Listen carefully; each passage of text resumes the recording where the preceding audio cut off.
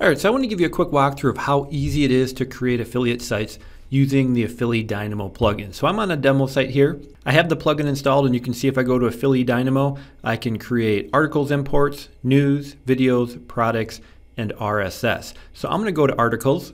Now this demo site is about fitness, so I can simply type in fitness, hit search, and it'll bring back a list of related articles from our done for you content database.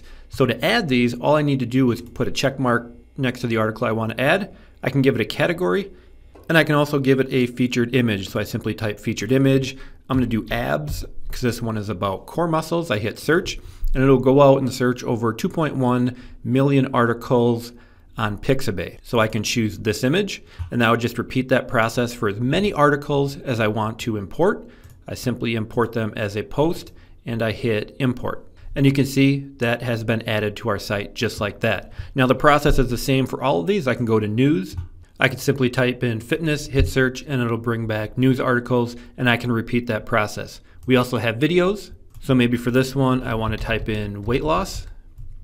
I hit search, and it'll bring back related YouTube videos. Any of these, I can simply check them, give them a category, and add them to my site. So I could hit post. I'll import that, and that has been added to our site. We also have a product import. So I can import any of the millions of products on Amazon or eBay. So I can choose eBay for this example. I'll type in weight loss, hit search, and it'll search from the millions of products on eBay and bring us back related affiliate products we can promote. And again, I can choose any of these products I want. So let's do this keto one. I can give it a category. I hit import, and that's added to my site as well.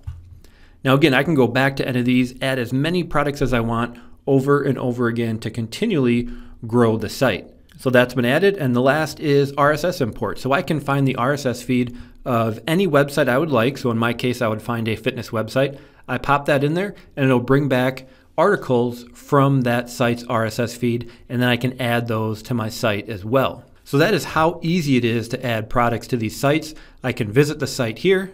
And you can see the content I have added to the site and also all of the affiliate products down here. And of course, I can come back to these as many times as I want, search for different keywords, different products, and continually grow my site with completely done for me content, done for me images, done for me videos. Uh, no content creation needed. All you simply do is enter the topic you want to build your site around, do a search, add those to your site, and you're ready to go.